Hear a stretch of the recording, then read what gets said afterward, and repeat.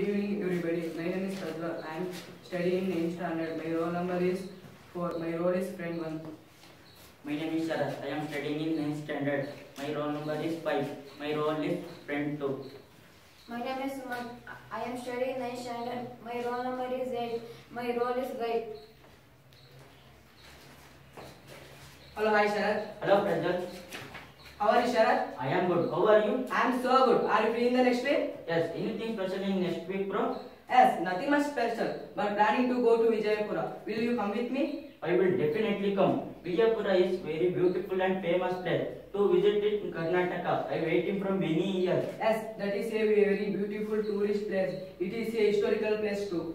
Yes, you are right. And when are you going to Vijayapura? Hmm, next week? Oh, that is good. I will come. Come, I love that place. I don't want to miss this chance. I thank you for inviting me. Why? Why are you saying that? I was thinking how to spend holidays in next week. So this really good idea. It's okay. You are welcome. You you come my home at 8.30 on Tuesday. Uh, let us go together and enjoy the life. Part 2. We are going to Vijayapura now.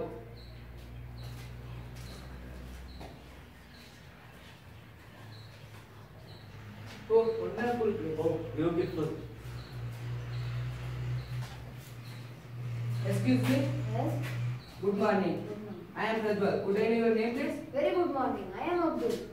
I am Suman. Where, where, where My, my name is Sharat. where are you from, sir? I am from Kur. Could you give me some information about this monument? This monument, Gol Gumbaz. It is the second biggest dome in the world. Oh, wonderful. Who built this great monument? Muhammad Adil Shah built it. What makes this monument interesting? Gol Gumbaz has a whispering gallery. Every sound uttered in the gallery echoed more than seven times. Is that so? It is really interesting. Well, how many people visit this structure every year? Thousands eager tourists from every nook and corner of the world visit it every year. But Vijayapura is very hot in April. Which is the ideal time to visit this historical city? November, December and January. Idea must to Vijaypura.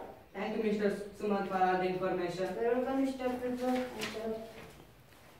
Okay, nice.